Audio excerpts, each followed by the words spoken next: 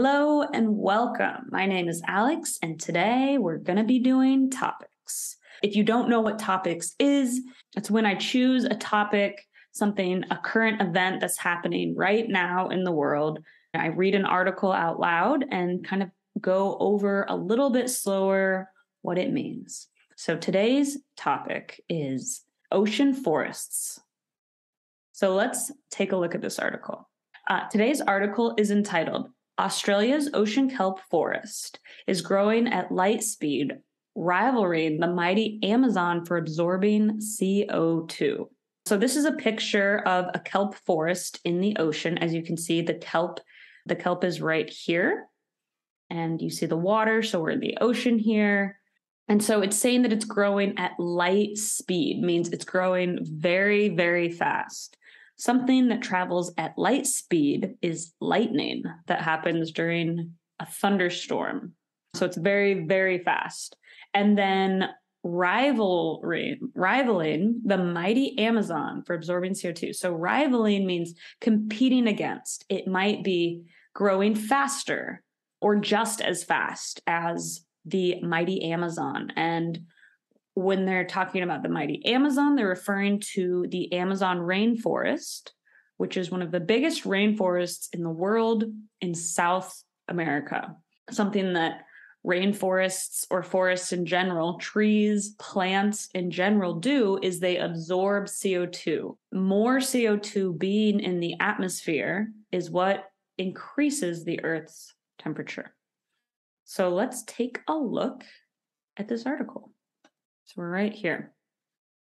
Great forests of ocean kelp were found in a recent study to be between 4 and 11 times more productive than the most productive crops grown today, like wheat, corn, and rice. Again, we're talking about the forests of the ocean, which is kelp. And there was a study that happened recently that this ocean kelp is more productive than wheat, corn, and rice. And so, what do they mean by more productive? In this instance, productivity means does this create a viable income? Is it economically viable? Is it making money? Not only does kelp remove CO2 from the atmosphere, which aids in the solution to global warming, but it also can make money. Not only can it make money, but it can make four to 11 times more money than wheat, corn, and rice. So that's pretty significant. Next bit. On land, the fastest growth rates occur in the tropics, but in the ocean, the most productive ecosystems are found in the temperate zones where cool, nutrient rich waters create forests of golden, bull, and bamboo kelp that can grow 100 feet tall, or 35 meters. So on land, the fastest growing plants or you know forests would be in tropical climate and tropical climate is going to be you know very warm and comfortable all year long they don't have winter and snow but in the ocean unlike land the fa- the most productive ecosystems or the fastest growth rates so how quickly things are growing occur where things are cool opposed to you know the tropics where things tend to get very very warm this was the result of a global diving survey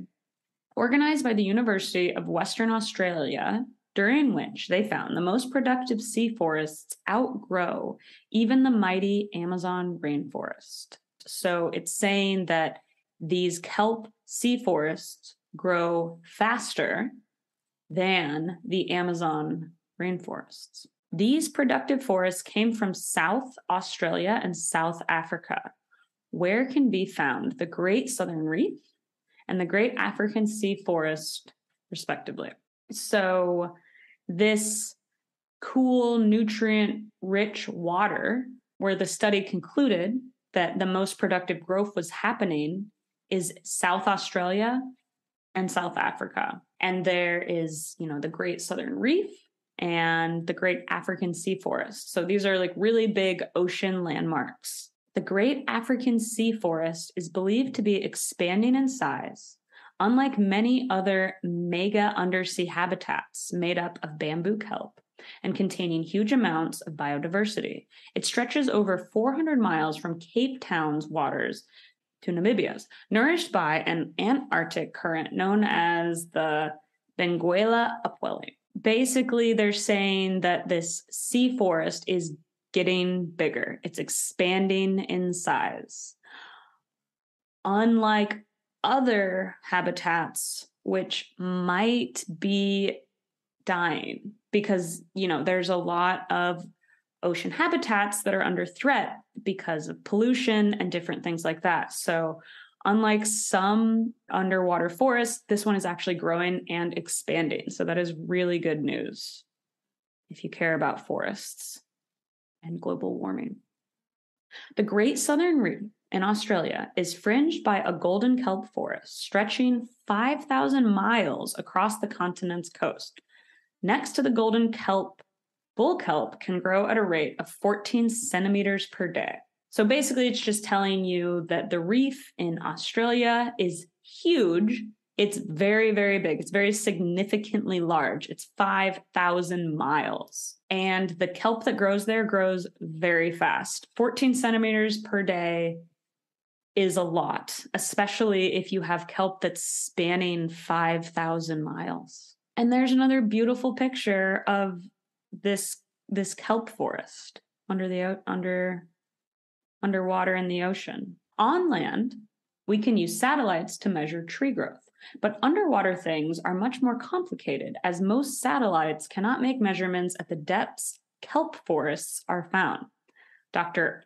Albert Pessarrodona uh, from the university's Oceans Institute and School of Biological Sciences sold, told the Sydney Morning Herald. So basically, what he's saying is that traditionally, measuring the growth of forests is done by satellites but you can't use satellites to measure the growth of underwater ocean forests because they're too deep, they're too far down in the water. To get around this fact, divers around the world compiled productivity reports on kelp forests, which were then compared and analyzed for nutrient levels, sun penetration, and wave exposure. So, to get around the fact that satellites can't be used to measure the growth of forest of kelp forests in the ocean. The study, which was referred to earlier in this article, was compiled by divers. So people that dress up in scuba diving gear and they have oxygen and they go underwater and they are collecting information, collecting data to compile, to collect and generate or make these reports on kelp forests. And this is why they know that kelp forests are growing 15 centimeters per day, while why they're so large and why they're expanding. The findings were that tropical forests were not the most productive, and that those from the temperate zones contain kelps that can grow 11 times faster than wheat, corn, or rice.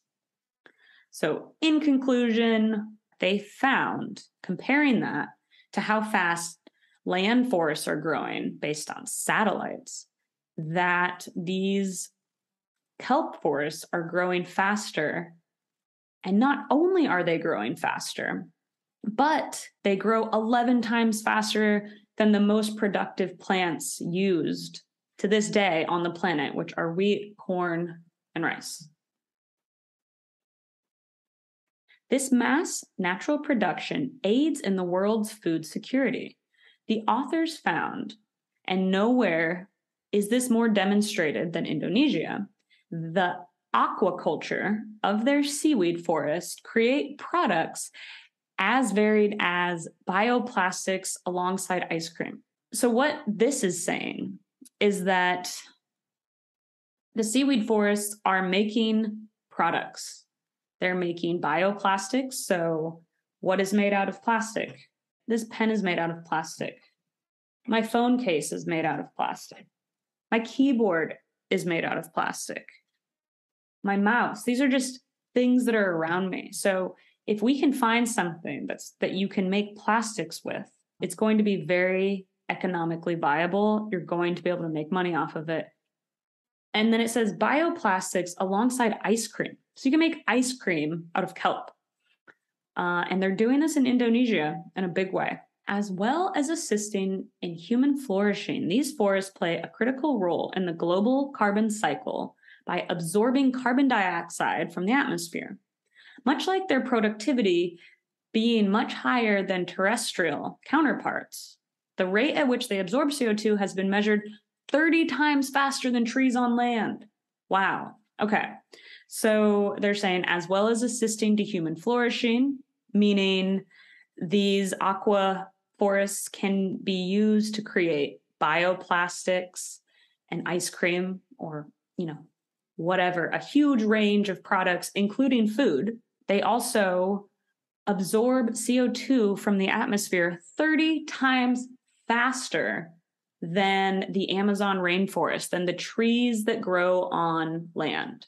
Scientists from the nonprofit Great Southern Reef estimated that if just 0.001% of the ocean surface was cultivated with these productive forests, it would offset the emissions of the entire global aquaculture industry. So, what this last part is saying, if we put a very minimal amount of effort into cultivating these forests more intentionally that are already growing and expanding at a very rapid rate, it would offset the emissions that would be created by making products out of the kelp and food out of it and transporting it from this country to that country, from that continent to that continent. It would offset all of that. So essentially, it's saying that it would make itself carbon neutral, the industry that you could build around using these aqua forests to make products that are viable, that make money. And at the same time, because they exist, they're going to be removing CO2 from the atmosphere 30 times faster than the land forests. So that is a big conclusion. Thank you so much for watching. I hope you got something out of this. I hope you learned something. This is topics, and the topic was sea forest as it relates to CO2 crop productivity, and global warming. Thank you for watching. Please like and subscribe.